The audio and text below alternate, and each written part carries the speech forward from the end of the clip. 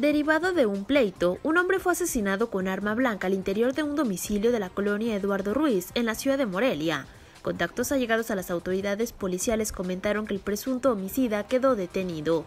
Lo anterior se registró durante las últimas horas de ayer domingo, en el citado inmueble ubicado en la calle Jerico, casi esquina con la vialidad Parque Nacional de Uruapan.